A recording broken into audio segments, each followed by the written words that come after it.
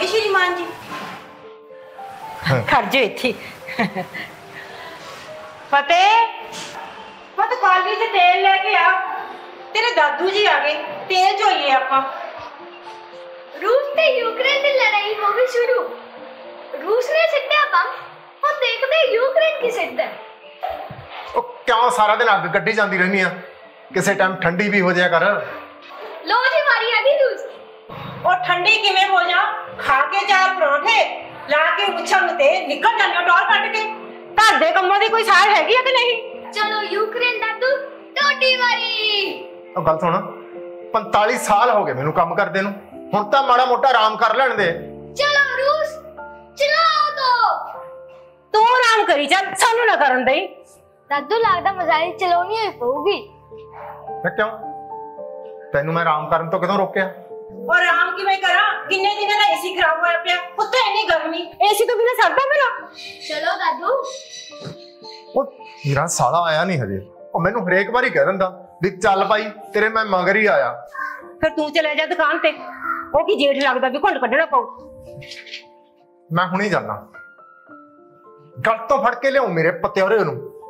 ਕਿ ਸਾਲਿਆ ਤੇਰਾ ਕਰਕੇ ਮੇਰੀ ਕੂਲ ਮਾਈਂਡਡ ਸ਼ਾਂਤ ਸੁਭਾਅ ਮਾਈ ਮੋਨੋ ਨੂੰ ਵੀ ਤੱਤੇ ਬੋਲ ਬੋਲਣੇ ਪੈ ਗਏ। ਜਿਹੜੇ ਵਿਚਾਰੀ ਨੇ ਕਦੇ ਵੀ ਨਹੀਂ ਬੋਲੇ। ਚੱਲ ਤੁਰ ਜਾ ਉੱਠ। ਨਾ ਤੂੰ ਖੜਾ ਕੀ ਕਰਦਾ ਇੱਥੇ? ਇਹ ਤਾਂ ਨਿੱਤ ਦਾ ਡਰਾਮਾ। ਚੱਲ ਪੜ ਜਾ ਕੇ। ਸੁਣਿਆ ਨਹੀਂ ਚੱਲ। ਨਾਸਾ ਵਰਗੇ ਦੁਨੀਆ ਦੇ ਨਾਮਵਰ ਅਦਾਰਿਆਂ ਨੇ ਇਹ ਸਾਫ਼ ਕਹਿਤਾ ਕਿ ਪੰਜਾਬ ਕੋਲ ਹੁਣ ਬਸ ਗਿਣਤੀ ਦੇ ਸਾਲਾਂ ਦਾ ਪਾਣੀ ਬਚਿਆ। ਪਾਣੀ ਜਿਹੜਾ ਸਿਰਫ ਦੁਆਬੇ ਦੇ ਕੁਝ ਹਿੱਸੇ ਹੋਣਗੇ ਜਿੱਥੇ ਉਪਲਬਧ ਹੋਊਗਾ ਬਾਕੀ ਥਾਵਾਂ ਤੇ ਸਾਰਾ ਜਿਹੜਾ ਪਾਣੀ ਹੈ ਖਤਰੇ ਦੇ ਨਿਸ਼ਾਨ ਤੇ ਪਹੁੰਚ ਜਾਊਗਾ। ਪਾਣੀ ਜੀ ਸਾਡੇ ਮੰਨ ਕੇ ਚਲੋ ਜੀ 200 ਫੁੱਟ ਤੇ ਪਾਣੀ ਬਸ ਇਹ ਤਾਂ ਹਾਲਾਤ ਦੱਸਦੇ ਨਹੀਂ ਹੁਣ ਕੀ ਬਣਨਾ ਜਾ ਸਕਦਾ ਸਾਰਾ ਕੁਝ ਦਿਖ ਰਿਹਾ ਮੂਰੇ ਆਉਣ ਵਾਲੀਆਂ ਪੀੜ੍ਹੀਆਂ ਸਾਡੀਆਂ ਖਤਮ ਹੋ ਜਾਣ।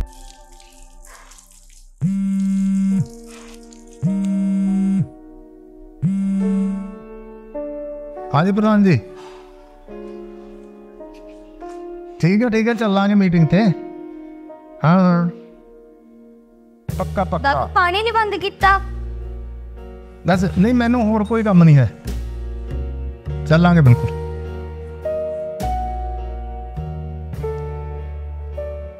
ਉਹ ਫਤਿਹ ਪੁੱਤ ਪਾਣੀ ਕਿਉਂ ਬੰਦ ਕਰਤਾ ਡੀਰ ਹਾਲੇ ਤਾਂ ਹੋਰ ਛਿੜਕਣਾ ਸੀ। ਦਾਦੂ ਹੋ ਛੱਪੜ ਪਵਾਉਣਾ। ਹਾਂ, ਨਹੀਂ ਪੁੱਤ ਅਜੇ ਬੇੜਾ ਠੰਡਾ ਨਹੀਂ ਹੋਇਆ। ਤੂੰ ਉਹ ਡਰਿਆ ਜਾ ਕਿਉਂ ਖੜਾ ਪੁੱਤ। ਹਾਂ ਦਾਦੂ ਮੈਂ ਸੱਚੀ ਡਰਿਆ ਹੋਇਆ। ਪੰਜਾਬ ਦੀ ਤੇ ਸਟੇਟ ਦਾ ਪਾਣੀ ਪੰਜ ਸੱਤ ਸਾਲਾਂ ਦਾ ਰਹਿ ਗਿਆ ਜੇ ਇਹ ਗੱਲ ਸੱਚ ਆ ਤਾਂ ਪਾਣੀ ਤੋਂ ਬਿਨਾ ਅਸੀਂ ਕਿਵੇਂ ਜਿਉਂਦੇ ਰਵਾਂਗੇ ਓਏ ਨਹੀਂ ਪੁੱਤ ਇਹ ਜਿਹਾ ਕੁਝ ਨਹੀਂ ਹੁੰਦਾ ਇਸ ਸੋਸ਼ਲ ਮੀਡੀਆ ਤੇ ਨਾ ਇਹ ਜਿਹਾ ਬਹੁਤ ਕੁਝ ਚੱਲਦਾ ਕੋਈ ਤਾਂ ਕਹਿੰਦਾ ਜੀ ਖੰਡ ਖਾਓ ਕੋਈ ਕਹਿੰਦਾ ਨਾ ਖਾਓ ਕੋਈ ਕਹਿੰਦਾ ਘਿਓ ਖਾਓ ਕੋਈ ਕਹਿੰਦਾ ਨਾ ਖਾਓ ਉਹ ਆਪਾਂ ਨੂੰ ਤਾਂ ਸਮਝ ਨਹੀਂ ਆਉਂਦੀ ਵੀ ਕੀ ਕਰੀਏ ਹੈ ਡਰਨ ਵਾਲੀਆਂ ਗੱਲਾਂ ਨਹੀਂ ਹੈਗੀਆਂ ਚੱਲ ਮੇਰਾ ਪੁੱਤ ਅੰਦਰ ਹੈ ਸ਼ਾਬਾਸ਼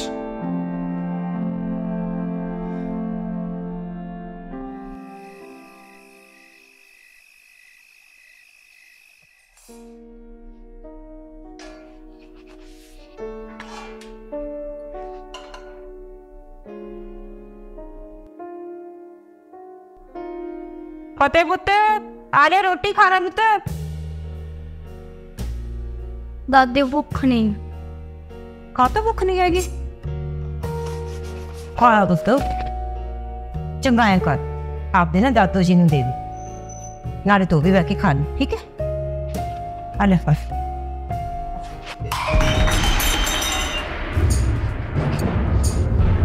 ਫਤਿਹ ਆ ਕੀ ਕਰਦਾ ਪੁੱਤ ਨਾ ਮੇਰਾ ਪੁੱਤ ਮੈਂ ਪੋਚਾ ਲਾ ਦਿੰਦੀ ਹਾਂ ਚੰਗਾ ਨਾ ਗਨ ਕਰ ਹਾਂ ਦਾਦੂ ਮੈਂ ਸੱਚੀ ਡਰਿਆ ਹੋਇਆ ਥਾਵਾਂ ਤੇ ਸਾਰਾ ਜਿਹੜਾ ਪਾਣੀ ਹੈ ਖਤਰੇ ਦੇ ਨਿਸ਼ਾਨ ਤੇ ਪਹੁੰਚ ਜਾਊਗਾ। ਜੇ ਗੱਲ ਸੱਚ ਤਾਂ ਆਪਾਂ ਕਿਵੇਂ ਜਿਉਂਦੇ ਰਵਾਂਗੇ? ਕਿ ਪੰਜਾਬ ਕੋਲ ਹੁਣ ਬਸ ਗਿਣਤੀ ਦੇ ਸਾਲਾਂ ਦਾ ਪਾਣੀ ਬਚਿਆ। ਪੰਜਾਬ ਦੀ ਤੇ ਸਟੇਟ ਦਾ ਪਾਣੀ ਪੰਜ ਸੱਤ ਸਾਲਾਂ ਦਾ ਰਹਿ ਗਿਆ। ਉਦੋਂ ਕਿਤੇ ਸਾਂਭ ਜੇ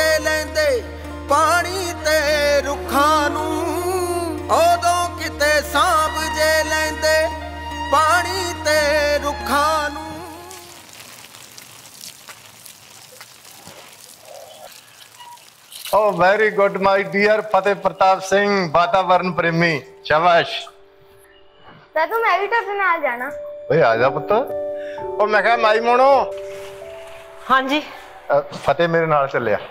ਆ ਨਾਲੇ ਪਾਣੀ ਬੰਦ ਕਰ ਦਿਓ। ਠੀਕ ਹੈ। ਲੈ ਵੀ ਆ ਜਾ। ਸਿੱਟ ਉੱਠ। ਲੈ ਵੀ ਪੁੱਤਰਾ। ਇਹ ਆ ਸਾਡਾ ਟਾਈਮ ਪਾਸ ਕਰਦਾ ਟਿਕਾਣਾ। ਅੱਛਾ ਤੁਸੀਂ ਰੋਜ਼ ਇੱਥੇ ਹੀ ਆਉਂਦੇ ਹੁੰਦੇ ਹੋ। ਲੈ ਹੋਰ ਸਾਡਾ ਦਫ਼ਤਰ ਆ ਇਹ। ਬੁੜਿਆਂ ਨੇ ਇੱਥੇ ਟਾਈਮ ਪਾਸ ਕਰਨਾ। ਹਾਂ। ਆ ਚੱਕ। ਸਤਿ ਸ਼੍ਰੀ ਅਕਾਲ ਓਏ ਆ ਵੀ ਗੁਰਮਖਾ ਕੀ ਹਾਲ ਹੈ? ਆ ਬੱਚਾ ਕਿਦਾ ਪੁੱਤਾ ਮੇਰਾ ਗੁਰਪ੍ਰਤਾਪ ਸਿੰਘ। ਬਹੁਤ ਸਿਆਣਾ ਬੱਚਾ। ਉਹ ਕੀ ਹਾਲ ਹੈ ਪੁੱਤਰਾ ਤੇਰਾ? ਅਸੀਂ ਵੀ ਦਾਦੂ ਆ ਤੇਰੇ ਸਾਰੇ। ਦਾਦੂ ਤੁਸੀਂ ਸਾਰਾ ਦਿਨ ਇੱਥੇ ਤਾਸ਼ ਖੇਡਦੇ ਰਹਿੰਦੇ ਹੋ। ਉਹ ਹੋਰ ਪੁੱਤਰਾ ਵੇਲਣਾ ਹੀ ਕਰਨਾ ਤਾਸ਼ ਹੀ ਖੇਡਣੀ ਹੈ ਨਾਲੇ ਟਾਈਮ ਪਾਸ ਹੋ ਜਾਂਦਾ। ਉਹ ਨਾਲੇ ਬੁੜੀਆਂ ਦੀ ਚੜ ਚੜ ਤੋਂ ਬਚੇ ਰਹਿੰਦੇ ਆ। ਦਾਦੂ ਤੁਸੀਂ ਚਾਹੋ ਤਾਂ ਕੋਈ ਭਲੇ ਦਾ ਕੰਮ ਵੀ ਕਰ ਸਕਦੇ ਹੋ ਜਿਵੇਂ ਦਰਖਤ ਲਗਾਓ ਦਰਖਤਾਂ ਨੂੰ ਪਾਣੀ ਪਾਓ ਇਹਦੇ ਨਾਲ ਵੀ ਤਾਂ ਟਾਈਮ ਪਾਸ ਹੋ ਸਕਦਾ। ਉਹ ਲੈ ਪੁੱਤਰਾ ਸਾਰੀ ਉਮਰ ਅਫਸਰੀ ਕੀਤੀ ਐ ਹੁਣ ਦਰਖਤ ਲਾਉਂਦੇ ਚੰਗੇ ਲੱਗਦੇ ਆ ਨਾਲੇ ਆ ਲੋਕ ਕੀ ਕਹਿਣਗੇ? ਦਾਦੂ ਤੁਹਾਡਾ ਕੋਈ ਪੋਤਾ ਪੋਤੀ ਹੈਗੀ ਆ? ਹਾਂ। ਦੋ ਪੋਤੇ ਆ ਇੱਕ ਪੋਤੀ ਐ ਦਾਦੂ ਤੇ ਤੁਹਾਨੂੰ ਉਹਨਾਂ ਦੇ ਭਵਿੱਖ ਦੀ ਕੋਈ ਚਿੰਤਾ ਨਹੀਂ ਹੈਗੀ ਉਹਨਾਂ ਦੀ ਕਾਦੀ ਚਿੰਤਾ ਸਾਰੀ ਉਮਰ ਕਮਾਈ ਕੀਤੀ ਐ ਸਾਰੀਆਂ ਸੁੱਖ ਸਹੂਲਤਾਂ ਨੇ ਉਹਨਾਂ ਕੋਲੇ ਦਾਦੂ ਜੇ ਪੰਜਾਬ ਦੀ ਧਰਤੀ ਤੋਂ ਪਾਣੀ ਹੀ ਮੁੱਕ ਗਿਆ ਫਿਰ ਤੁਹਾਡੀਆਂ ਸੁੱਖ ਸਹੂਲਤਾਂ ਨਾਲ ਬੱਚੇ ਜੀ ਸਕਣਗੇ ਲੈ ਪਾਣੀ ਨੂੰ ਕੀ ਸੱਪ ਸੁੰਘ ਗਿਆ ਜਿਵੇਂ ਪੰਜਾਬ ਦੀ ਧਰਤੀ ਦਾ ਤਾਪਮਾਨ ਵੱਧਦਾ ਜਾ ਰਿਹਾ ਨਾ ਆਉਣ ਵਾਲੇ ਸਮੇਂ 'ਚ ਬਿਨਾਂ ਦਰਖਤਾਂ ਤੋਂ, ਬਿਨਾਂ ਪਾਣੀ ਤੋਂ ਤੁਹਾਡੇ ਪੋਤੇ ਪੋਤੀਆਂ ਕਿਵੇਂ ਜਿਉਂਦੇ ਰਹਿਣਗੇ? ਉਹ ਲੈ ਛੱਡ ਯਾਰ। ਬੇਅੰਤ ਪੱਤਾ ਸਿੱਟ ਯਾਰ। ਆ ਜਾ। ਆ ਜਾ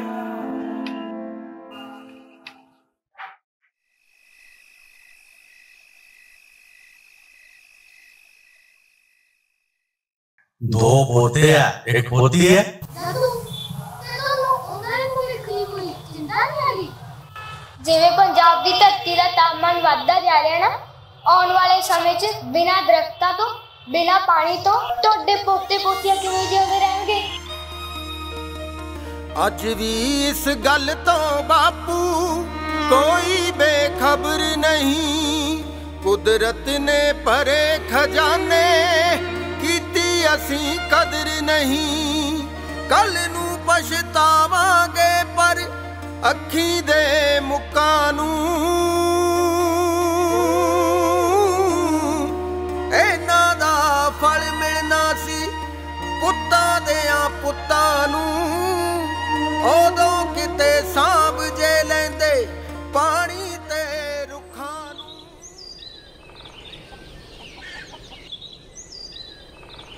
ਸਾਡੇ ਬਹੁਤ ਹੀ ਸਤਿਕਾਰਯੋਗ ਪ੍ਰਧਾਨ ਜੀ ਸਮੂਹ ਮੈਂਬਰ ਸਹਿਬਾਨ ਸਭ ਤੋਂ ਪਹਿਲਾਂ ਵਾਹਿਗੁਰੂ ਜੀ ਕਾ ਖਾਲਸਾ, ਵਾਹਿਗੁਰੂ ਜੀ ਕੀ ਫਤਿਹ। ਜਿਵੇਂ ਕਿ ਤੁਸੀਂ ਜਾਣਦੇ ਹੋ, ਆਪਾਂ ਹਰੇਕ ਮਹੀਨੇ ਮਹੀਨਾਵਾਰ ਮੀਟਿੰਗ ਦੇ ਵਿੱਚ ਇਕੱਠੇ ਹੁੰਦੇ ਆ ਉਸ ਮੀਟਿੰਗ ਵਿੱਚ ਆਪਾਂ ਆਪਣੀਆਂ ਨਿੱਜੀ ਸਮੱਸਿਆਵਾਂ ਤੇ ਵਿਚਾਰ ਵਟਾਂਦਰਾ ਕਰਦੇ ਹਾਂ। ਮੈਂ ਕੱਲ ਦੀ ਘਟਨਾ ਤੁਹਾਡੇ ਨਾਲ ਸਾਂਝੀ ਕਰਨੀ ਚਾਹੁੰਦਾ, ਜੋ ਬਹੁਤ ਜ਼ਰੂਰੀ ਹੈ। ਕੱਲ ਗੁਰਮਤ ਸਿੰਘ ਦਾ ਪੋਤਾ ਫਤਿਹ ਪ੍ਰਤਾਪ ਸਿੰਘ ਉਸ ਦੇ ਨਾਲ ਕਿੱਥੇ ਆਇਆ? ਜਿਸ ਦੀ ਉਮਰ ਮਹਿਜ਼ 14 ਸਾਲ ਹੋਵੇਗੀ।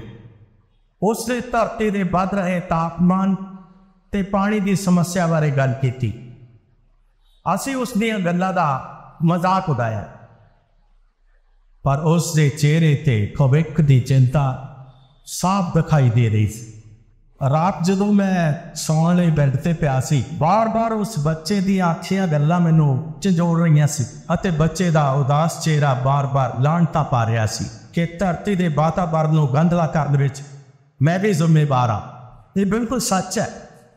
ਅਸੀਂ ਸਾਰੇ ਜ਼ਿੰਮੇਵਾਰ ਹਾਂ। ਅਸੀਂ ਆਪਣੀਆਂ ਸਹੂਲਤਾਂ ਦੇ ਲਈ ਦਰਖਤਾਂ ਦੀ ਅੰਨੇਵਾਹ ਕਟਾਈ ਕੀਤੀ, ਫਸਲਾਂ ਦੀ ਵੱਧ ਪੈਦਾਵਾਰ ਲਈ, ਪਾਣੀ ਦੀ ਵੱਧ ਵਰਤੋਂ ਕੀਤੀ, ਫਸਲਾਂ ਦੀ ਰਹਿੰਦ ਖੂਦ ਨੂੰ ਖੇਤਾਂ ਵਿੱਚ ਅੱਗਾਂ ਲਾਈਆਂ ਤੇ ਲਾ ਰਹੇ। ਹੁਣ ਤੁਸੀਂ ਦੱਸੋ ਆਪਾਂ ਇਹ ਗਲਤੀਆਂ ਕੀਤੀਆਂ ਜਾਂ ਨਹੀਂ? ਅਸੀਂ ਆਪਣੀਆਂ ਆਉਣ ਵਾਲੀਆਂ ਨਸਲਾਂ ਵਾਸਤੇ ਉਹਨਾਂ ਨੂੰ ਜਿਉਂਦੇ ਰੱਖਣ ਵਾਸਤੇ ਕੀ ਕਰੀਏ? ਆਪਾਂ ਨੂੰ ਵੱਧ ਤੋਂ ਵੱਧ ਰੁੱਖ ਲਾਉਣੇ ਚਾਹੀਦੇ ਆ ਜੀ। ਆਪਾਂ ਫਸਲਾਂ ਦੀ ਰਹਿਤ ਨੂੰ ਅੱਗ ਨਾ ਲਾਇਆ ਕਰੀਏ। ਹਾਂ ਆਪਾਂ ਗਲੀਆਂ ਨਾਲੀਆਂ ਕੂੜਾ ਪੱਥਰ ਲਾਤਾ ਭਾਈ ਮੇਰੇ ਦਿਮਾਗ 'ਚ ਕੀ ਗੱਲ ਹੈ ਇਹ ਕਰ ਸਕਦਾ? ਹਾਂ ਹਾਂ ਦੱਸੋ। ਕਿਉਂ ਨਾ ਆਪਾਂ ਪਿੰਡਾਂ ਦੀਆਂ ਪੰਚਾਇਤਾਂ ਦਾ ਬਤੋਰੀਏ। ਹਾਂ ਇਹ ਸਭ ਤੋਂ ਵਧੀਆ ਗੱਲ ਹੈ। ਪੰਚਾਇਤਾਂ ਕੋਲ ਮੈਨ ਪਾਵਰ ਹੁੰਦੀ ਹੈ। ਆਪਾਂ ਪੰਚਾਇਤਾਂ ਨਾਲ ਤਾਲਮੇਲ ਕਰਕੇ ਪਿੰਡ ਪਿੰਡ ਵਿੱਚ ਇਹ ਮੁਹਿੰਮ ਚਲਾ ਸਕਦੇ ਹਾਂ। ਆਓ ਫਿਰ ਆਪਾਂ ਕਸਮ ਖਾਈਏ ਕਿ ਹਰ ਬੰਦਾ ਦੋ ਰੁੱਖ ਲਾ ਕੇ ਉਸ ਦਾ ਪਾਲਣ ਪੋਸ਼ਣ ਕਰੇਗਾ। ਹੱਥ ਖੜੇ ਕਰਕੇ ਤੁਸੀਂ ਆਪਣੀ ਹਾਮੀ ਦਿਓ। ਬਸ ਠੀਕ ਹੈ। ਮੈਨੂੰ ਤੁਹਾਡੇ ਕੋਲ ਇਹ ਉਹ ਵੀ ਸੀ। ਆਪਾਂ ਜਲਦੀ ਹੀ ਇਹ ਮੁਹਿੰਮ ਸ਼ੁਰੂ ਕਰਦੇ ਹਾਂ ਧੰਨਵਾਦ। ਵਾਹਿਗੁਰੂ ਜੀ ਕਾ ਖਾਲਸਾ, ਵਾਹਿਗੁਰੂ ਜੀ ਕੀ ਫਤਿਹ। ਅਸੀਂ ਸਰਪੰਚ ਸਾਹਿਬ ਕੋਲ ਬੇਨਤੀ ਲੈ ਕੇ ਆਏ ਹਾਂ। ਅਸੀਂ ਰਲ ਮਿਲ ਕੇ ਵਾਤਾਵਰਨ ਨੂੰ ਬਚਾਉਣ ਦਾ, ਪਾਣੀ ਨੂੰ ਸੁਰੱਖਿਅਤ ਰੱਖਣ ਦਾ ਉਪਰਾਲਾ ਕੀਤਾ ਹੈ। ਤੁਹਾਡੇ ਕੋਲੇ ਮੈਨ ਪਾਵਰ ਹੈ, ਯੂਥ ਕਲੱਬ ਨੇ, ਮਨਰੇਗਾ ਮਜ਼ਦੂਰ ਨੇ, ਤੁਸੀਂ ਹੰਬਲਾ ਮਾਰ ਕੇ, ਜਿਵੇਂ ਆਪਣੇ ਪਿੰਡ ਦੀਆਂ ਖੁੱਲੀਆਂ ਥਾਵਾਂ ਨੇ, ਨਹਿਰਾਂ ਕੱਸੀਆਂ ਸੜਕ ਦੇ ਕਿਨਾਰਿਆਂ ਤੇ ਵੱਧ ਤੋਂ ਵੱਧ ਦਰਖਤ ਲਾ ਕੇ ਬਹੁਤ ਵੱਡਾ ਪੁੰਨ ਦਾ ਕੰਮ ਕਰ ਸਕਦੇ। ਅਸੀਂ ਤੁਹਾਡੇ ਕੋਲੋਂ ਆਸ ਕਰਦੇ ਹਾਂ ਕਿ ਤੁਸੀਂ ਸਾਡਾ ਸਹਿਯੋਗ ਦਿਓਗੇ। ਹੁਣ ਤੁਹਾਡੇ ਨਾਲ ਸਰਪੰਚ ਸਾਹਿਬ ਜੀ ਆਪਣੇ ਵਿਚਾਰ ਰੱਖਣਗੇ। ਸਰਪੰਚ ਸਾਹਿਬ। ਵਾਹਿਗੁਰੂ ਜੀ ਕਾ ਖਾਲਸਾ, ਵਾਹਿਗੁਰੂ ਜੀ ਕੀ ਫਤਿਹ। ਮੈਂ ਆਪਣੇ ਆਪ ਨੂੰ ਬੜੇ ਭਾਗਾਂ ਵਾਲਾ ਸਮਝਦਾ। ਵਾਹਿ ਜੀ ਹੋਰਾਂ ਨੇ ਆਪਣੇ ਨਾਲ ਜੋੜ ਕੇ ਮੈਨੂੰ ਵਾਤਾਵਰਨ ਬਚਾਉਣ ਦੇ ਵਿੱਚ ਨਾਲ ਰੱਖਿਆ। ਮੈਂ ਯਕੀਨ ਦਿਵਾਉਣਾ, ਕਲੱਬੋਂ ਅਤੇ ਨਰੇਗਾ ਮਜ਼ਦੂਰਾਂ ਦੀ ਸਹਾਇਤਾ ਦੇ ਨਾਲ ਅਸੀਂ ਪਿੰਡ ਦੇ ਵਿੱਚ ਵੱਧ ਤੋਂ ਵੱਧ ਦਰਖਤ ਲਗਾਵਾਂਗੇ ਜੀ। ਪਿੰਡ ਦਾ ਸਹਿਯੋਗ ਨਾਲ ਰਹੂਗਾ। ਵਾਹਿਗੁਰੂ ਜੀ ਕਾ ਖਾਲਸਾ, ਵਾਹਿਗੁਰੂ ਜੀ ਕੀ ਫਤਿਹ। ਵਾਹਿਗੁਰੂ ਜੀ ਕਾ ਖਾਲਸਾ, ਵਾਹਿਗੁਰੂ ਜੀ ਕੀ ਫਤਿਹ। ਔਰ ਸਰਪੰਚ ਸਾਹਿਬ, ਮੈਂ ਇੱਕ ਹੋਰ ਬੇਨਤੀ ਕਰਨੀ ਚਾਹੁੰਦਾ ਕਿ ਜਿਸ ਤਰ੍ਹਾਂ ਆਪਾਂ ਲਿਫਾਫੇ, ਪਲਾਸਟਿਕ ਦੇ ਲਿਫਾਫੇ ਵਗੈਰਾ ਲੈ ਕੇ ਆਉਨੇ ਆ, ਕੋਈ ਸੌਦਾ ਪੱਤਾ ਲੈ ਕੇ ਆਉਨੇ ਆ। ਤੇ ਪਾਣੀ ਦੀਆਂ ਬੋਤਲਾਂ, ਵਰਤਦੇ ਆ, ਖਾਲੀ ਬੋਤਲਾਂ ਆਪਾਂ ਕਿਤੇ ਨਾ ਕਿਤੇ ਜਾ ਕੇ ਗਲੀਆਂ, ਨਾਲੀਆਂ 'ਚ ਜਾਂ ਸੜਕਾਂ ਤੇ, ਨਹਿਰਾਂ 'ਚ ਸੋਇਆ 'ਚ, ਕਿਤੇ ਨਾ ਕਿਤੇ ਆਪਾਂ ਸਿੱਟਦੇ ਆ। ਉਹਦੇ ਨਾਲ ਵੀ ਜਿਹੜਾ ਵਾਤਾਵਰਣ ਤੇ ਬਹੁਤ ਬੁਰਾ ਅਸਰ ਪੈ ਰਿਹਾ, ਸਾਡਾ ਪਾਣੀ ਗੰਦਲਾ ਹੋ ਰਿਹਾਗਾ ਤੇ ਸਰਪੰਚ ਸਾਹਿਬ, ਇੱਕ ਮੈਂ ਦੇਖਿਆ ਵੀ ਕਈ ਪਿੰਡਾਂ ਦੇ ਵਿੱਚ ਲੋਕਾਂ ਨੇ ਕੀ ਕੀਤਾਗਾ ਵੱਡੇ ਵੱਡੇ ਡੱਗ ਬਣਾ ਕੇ, ਉਹਦੇ ਵਿੱਚ ਮੀਂਹ ਵਾਲਾ ਪਾਣੀ ਸਟੋਰ ਕਰਨ ਵਾਸਤੇ ਇਹਨੇ ਵਧੀਆ ਸਿਸਟਮ ਬਣਾਏ ਵੀ ਦੋ ਡੱਗਾਂ ਦੇ ਰਾਹੀਂ ਪਾਣੀ ਪੁਣ ਕੇ ਉਹਦੇ ਵਿੱਚ ਵੱਡੇ ਡੱਗ ਦੇ ਵਿੱਚ ਆਉਂਦਾ ਔਰ ਉਹਦੇ ਵਿੱਚ ਸੇਬ ਵੀ ਹੁੰਦਾ ਔਰ ਉਹ ਧਰਤੀ ਨੂੰ ਵੀ ਸਿੱਲੀ ਕਰਦਾ, ਉਹ ਪਾਣੀ ਜਿਹੜਾ ਮੀਂਹ ਵਾਲਾ ਨਾਲੇ ਦਾ ਬਚਤ ਹੁੰਦੀ ਹੈ ਨਾਲੇ ਉਹ ਧਰਤੀ ਦੇ ਵਿੱਚ ਹੀ ਸਮਾ ਜਾਂਦਾ। ਤੇ ਇਸ ਤਰ੍ਹਾਂ ਵੀ ਆਪਾਂ ਪਾਣੀ ਦੀ ਵਧੀਆ ਬਚਤ ਕਰ ਸਕਦੇ ਹਾਂ ਇਹਨਾਂ ਗੱਲਾਂ ਵੱਲ ਵੀ ਮੇਰਾ ਵੀਰ ਸਾਰਿਆਂ ਨੇ ਧਿਆਨ ਰੱਖਣਾ ਵੀ ਆਪਾਂ ਪਲਾਸਟਿਕ ਦੀ ਵਰਤੋਂ ਨਾ ਕਰਾਂਗੇ ਤੇ ਪਾਣੀ ਨੂੰ ਗੰਧਲਾ ਨਾ ਕਰਾਂਗੇ ਤੇ ਸਹਿਯੋਗ ਦਿਓ। ਆਪਾਂ ਵੱਧ ਤੋਂ ਵੱਧ ਦਰਖਤ ਲਾ ਕੇ ਵਾਤਾਵਰਨ ਨੂੰ ਹਰਿਆ ਭਰਿਆ ਕਰ ਲਈਏ ਬਹੁਤ ਬਹੁਤ ਮਿਹਰਬਾਨੀ ਜੀ। ਸਤਿ ਸ਼੍ਰੀ ਅਕਾਲ। ਸਰਪੰਚ ਅੰਕਲ ਜੀ ਦਾ ਬਹੁਤ ਬਹੁਤ ਧੰਨਵਾਦ। ਉਹਨਾਂ ਨੇ ਇਸ ਮੋਰਨਿੰਗ ਵਿੱਚ ਸਾਡਾ ਸਾਥ ਦੇਣ ਦਾ ਵਾਅਦਾ ਕੀਤਾ ਤੇ ਸਰਪੰਚ ਸਾਹਿਬ ਤੇ ਬਾਕੀ ਲੋਕਾਂ ਦਾ ਬਹੁਤ ਬਹੁਤ ਸ਼ੁਕਰੀਆ। ਧੰਨਵਾਦ। ਆਓ ਰਲ ਮਿਲ ਤੁਰੀਏ ਆਪਾਂ ਲਹਿਰ ਬਣਾ ਲਈਏ। ਹਰ ਕੋਈ ਰੁੱਖ ਲਾ ਪਾਲੇ ਐਸੀ ਜੁਗਤ ਲੜਾ ਲਈਏ। ਸਾਂਭ ਹਵਾ, ਰੁੱਖ ਪਾਣੀ। ਓਏ ਸਾਂਭ ਹਵਾ, ਰੁੱਖ ਪਾਣੀ, ਆਉਂਦੀ ਨਸਲ ਬਚਾ ਲਈਏ। ਆਉਂਦੀ ਨਸਲ ਬਚਾ ਲਈਏ। ਜੋ ਨਾਨਕ ਦੀ ਬਾਣੀ ਦੱਸਦੀ, ਸੱਚਾ ਸਬਕ ਪਕਾ ਲਈਏ। ਜੋ ਨਾਨਕ ਦੀ ਬਾਣੀ ਦੱਸਦੀ, ਸੱਚਾ ਸਬਕ ਪਕਾ ਲਈਏ। ਸੱਚਾ ਸਬਕ ਪਕਾ ਲਈਏ। ਸੱਚਾ ਸਬਕ ਪਕਾ ਲਈਏ। ਸ਼ੁਕਰ ਹੈ ਦਾਤਾ ਤੇਰਾ। ਤੂੰ ਮਨੁੱਖ ਨੂੰ ਸੋਝੀ ਬਖਸ਼ੀ। ਮਨੁੱਖ ਵਾਤਾਵਰਨ ਨੂੰ ਬਚਾਉਣ ਵਾਸਤੇ ਤੁਰ ਪਿਆ। ਸ਼ੁਕਰ ਹੈ ਤੇਰਾ।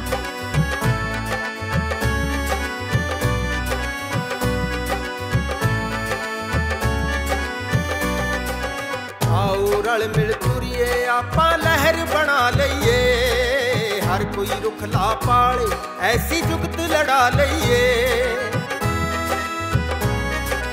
ਆਓ ਰਲ ਮਿਲ ਤੁਰੀਏ, ਆਪਾਂ ਲਹਿਰ ਬਣਾ ਲਈਏ। ਹਰ ਕੋਈ ਰੁਖ ਲਾ ਪਾਲੇ, ਐਸੀ ਜੁਗਤ ਲੜਾ ਲਈਏ। ਸਾਂਭ ਹਵਾ, ਰੁਖ ਪਾਣੀ, ਓਏ ਸਾਂਭ ਹਵਾ, ਰੁਖ ਪਾਣੀ, ਆਉਂਦੀ ਨਸਲ ਬਚਾ ਲਈਏ, ਆਉਂਦੀ ਨਸਲ ਬਚਾ ਲਈਏ। ਜੋ ਨਾਨਕ ਦੀ ਬਾਣੀ ਦੱਸਦੀ, ਸੱਚਾ ਸਬਕ ਪਕਾ ਲਈਏ। ਜੋ ਨਾਨਕ ਦੀ ਬਾਣੀ ਦੱਸਦੀ, ਸੱਚਾ ਸਬਕ ਪਕਾ ਲਈਏ। ਸੱਚਾ ਸਬਕ ਪਕਾ ਲਈਏ, ਸੱਚਾ ਸਬਕ ਪਕਾ ਲਈਏ। ਕੁਝ ਰੁੱਖ ਮੈਨੂੰ ਪੁੱਤ ਲੱਗਦੇ ਨੇ, ਕੁਝ ਰੁੱਖ ਲੱਗਦੇ ਮਾਵਾਂ, ਕੁਝ ਰੁੱਖ ਨੂਹਾਂ ਧੀਆਂ ਲੱਗਦੇ, ਕੁਝ ਰੁੱਖ ਵਾਂਗ ਭਰਾਵਾਂ, ਕੁਝ ਰੁੱਖ ਮੇਰੇ ਬਾਬੇ ਵਾਕਣ ਪੱਤਰ ਟਾਵਾਂ ਟਾਵਾਂ, ਕੁਝ ਰੁੱਖ ਮੇਰੀ ਦਾਦੀ ਵਰਗੇ ਚੋਰੀ ਪਾਵਣ ਕਾਵਾਂ, ਚੋਰੀ ਪਾਵਣ ਕਾਵਾਂ।